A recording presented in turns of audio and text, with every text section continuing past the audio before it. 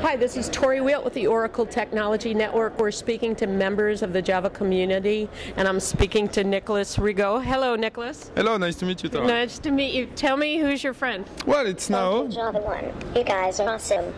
For you, it's been a pleasure to meet you. Can I have a kiss? Oh, absolutely, you can have a kiss. Wow, that made my day. It made my day too. Wow, Nicolas, tell me about your friend. I Well- really like him now. His name is NAO. He's a French, just a French robot, uh, and he's fully programmable with Java.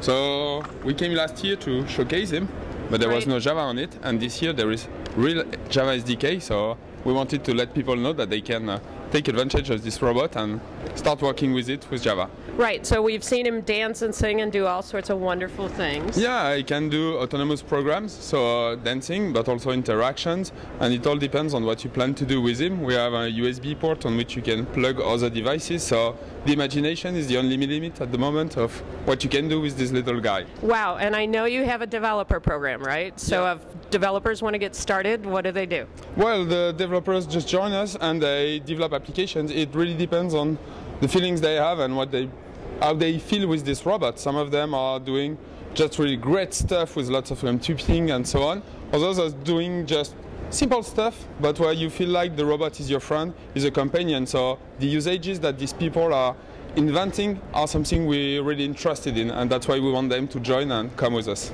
Excellent. So thank you very much. It was nice to meet you and meet you both. And I know you can go to Alderon, Alderon Robotics. Yeah, we have a website. If you just check Aldebaran Robotics or NAO Robot on Google or whatever, you will surely find us and uh, join the. You can join this community easily. Excellent. So use Java to change the world. Thank Yeah. you.